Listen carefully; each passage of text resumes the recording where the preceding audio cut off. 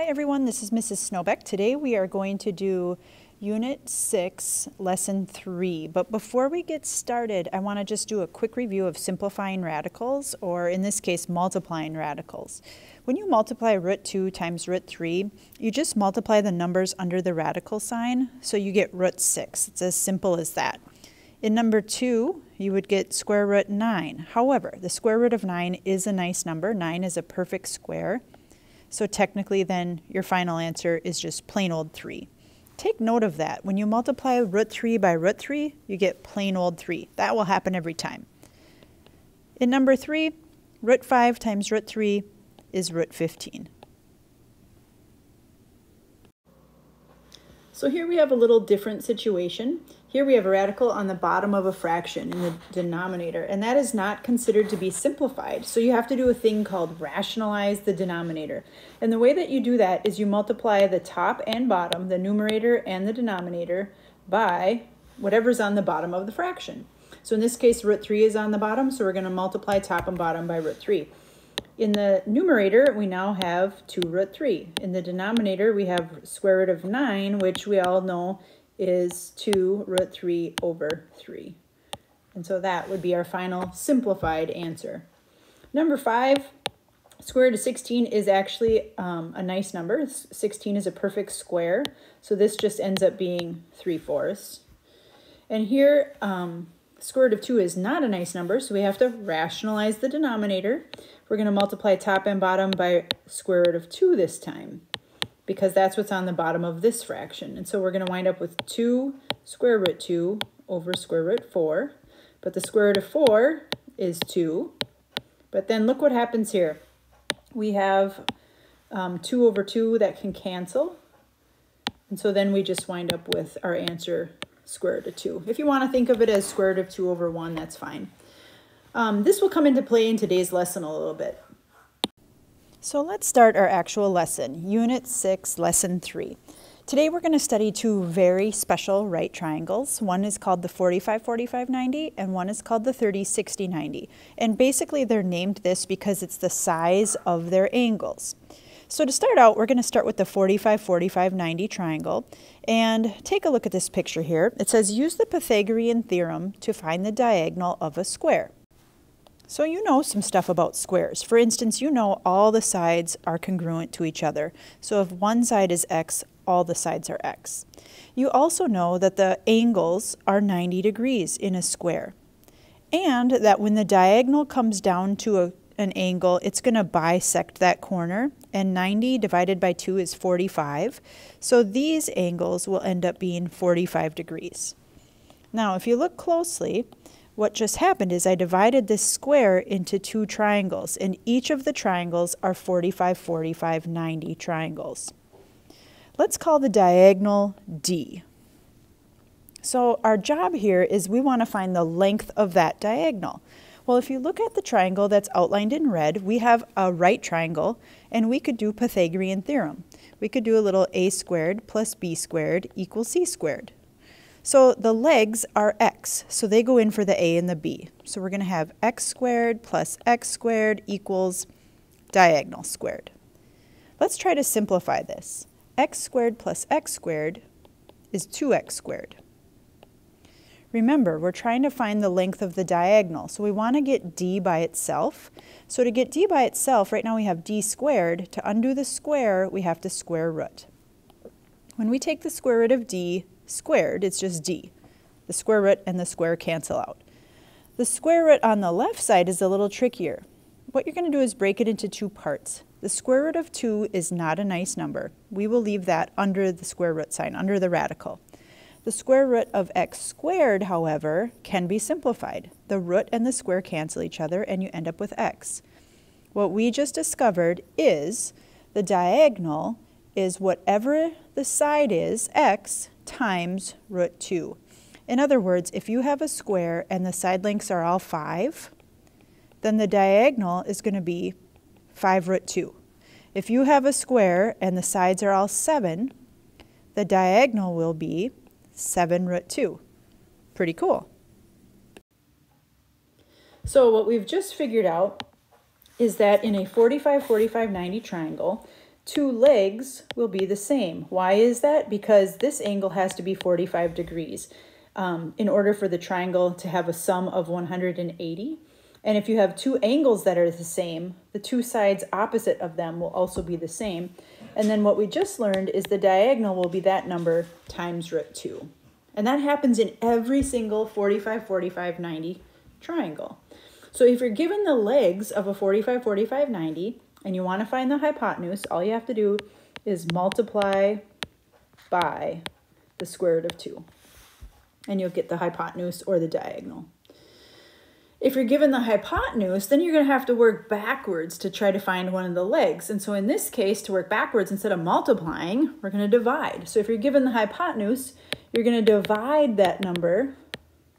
Whoops, if I could spell, that would be great. You're going to divide uh, your number by root 2. So again, if you're given the hypotenuse to work backwards, you divide by root 2 and you'll get the length of a leg. So let's try one of these. In this triangle, part A, we can see we have two legs that are x and x, which means they are congruent to each other. Now, if two sides are congruent, that means two angles are congruent. This is an isosceles triangle. The angles in every triangle have to add up to 180. So 180, take away the one corner that we know, nine, the 90 degree corner, it leaves us with 90. And if we divide that in half, we get 45. So what we've just figured out is this corner is 45 and this corner is 45. We have a 45, 45, 90 triangle. So let's solve for x. We're going to solve for it in two ways. The first way is an approximate answer. Now, if we have the hypotenuse, we're going to have to work backwards by dividing by root 2. So what I could do right now is just take my calculator and type in 12 divided by root 2 and I get approximately 8.49. That is one of our answers. That's the approximate answer, the approximate length for x. But let's say I want an exact answer that's not rounded off. And so again, in order to find x, it's just 12 divided by root 2 if we're working backwards to find a leg. Now, think of what we learned at the beginning of the lesson. We learned that you can't leave a radical on the bottom of a fraction. So we multiply top and bottom by square root of 2. On the top, we get 12 root 2. On the bottom, we get root 2 times root 2, which is root 4, but the square root of 4 is really just 2.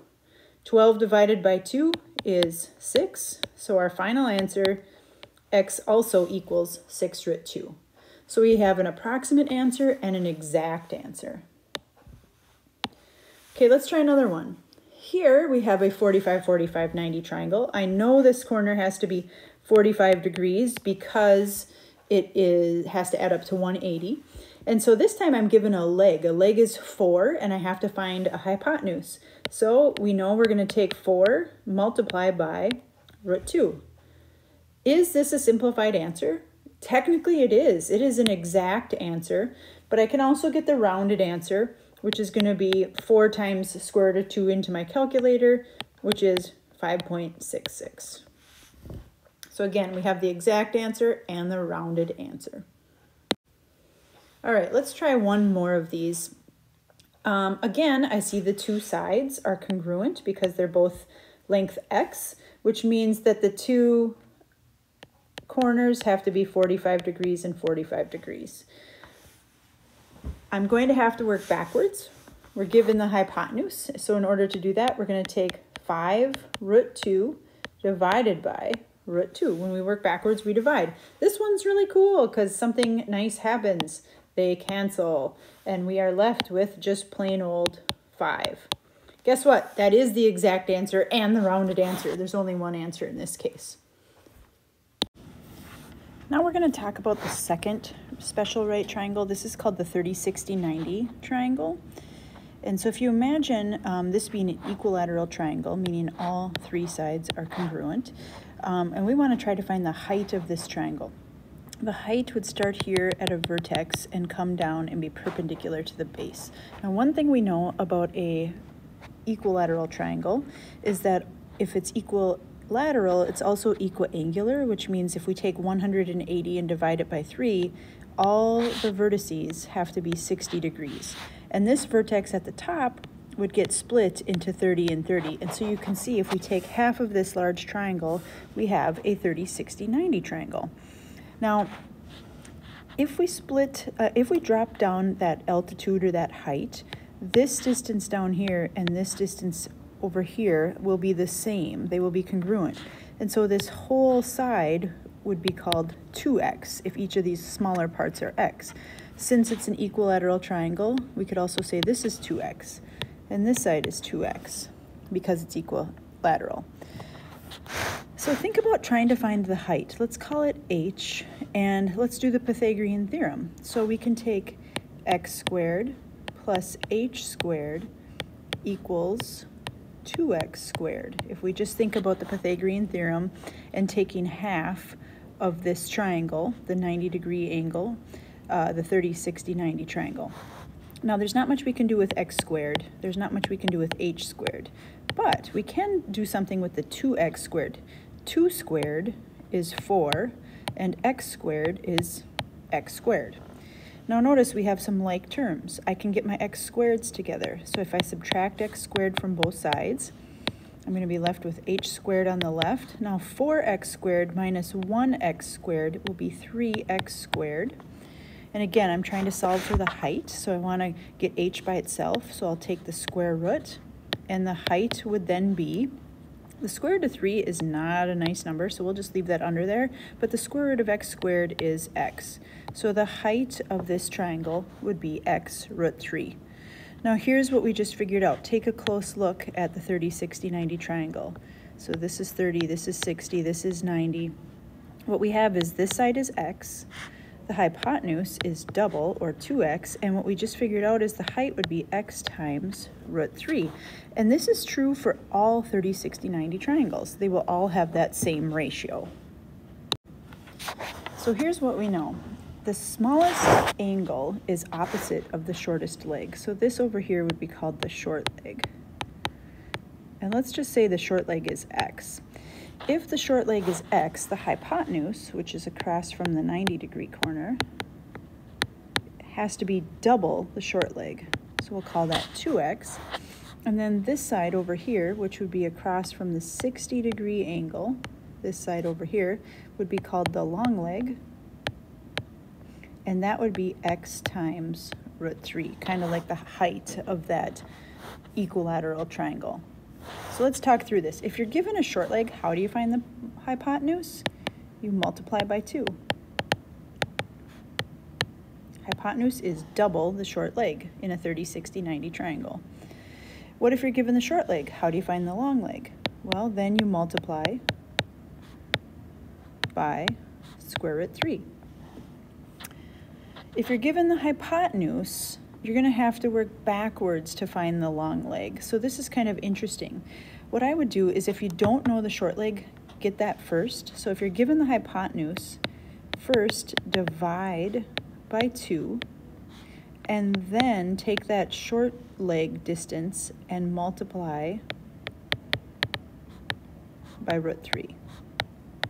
So it's going to be sort of a two-step process to go from hypotenuse to long leg. Divide by 2, then multiply by root 3. If you're given the long leg, how do you work backwards and get the short leg? Well, working backwards, you're going to have to divide. Oops.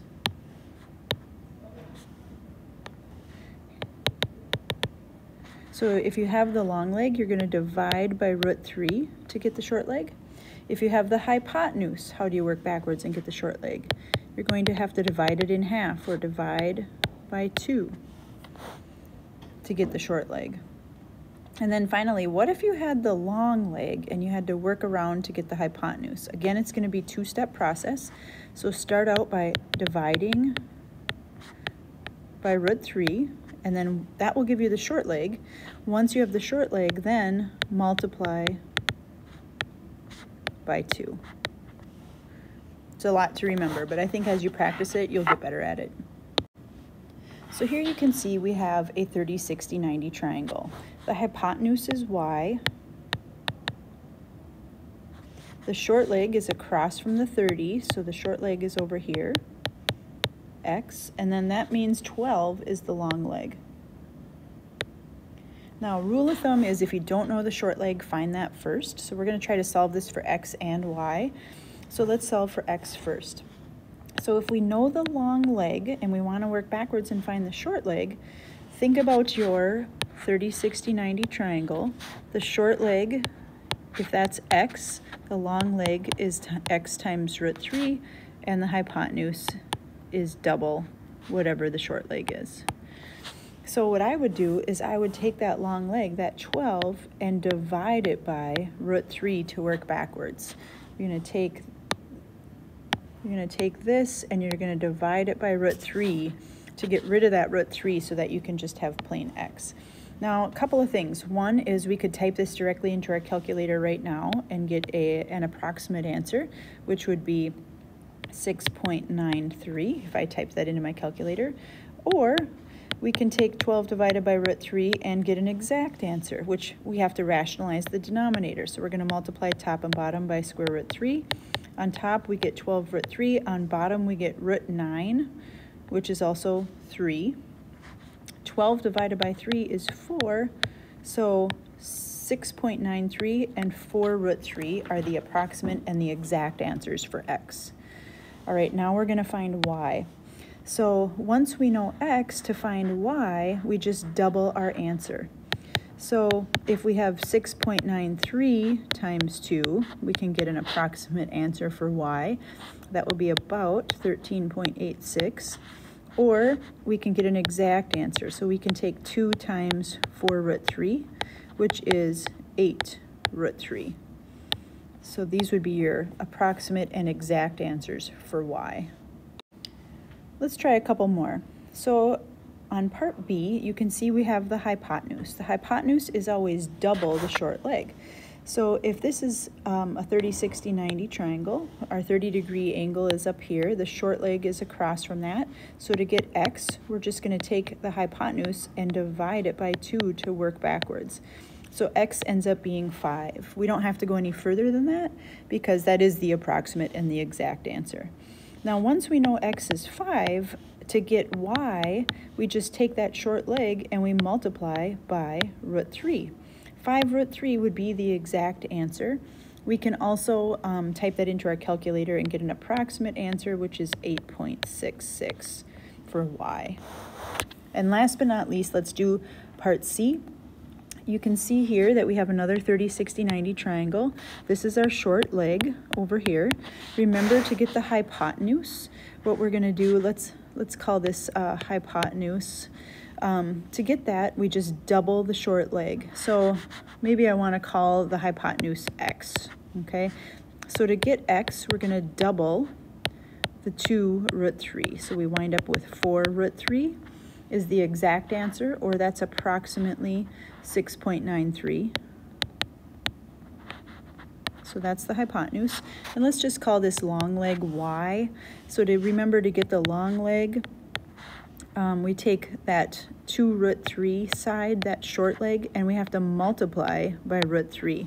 Now, root 3 times root 3, remember, is root 9, or think of it as just 3 and 2 times 3 is 6. There we have it. All right, so next I want you guys to try Unit 6, Practice 3. If you have questions, just let me know, and have a great day.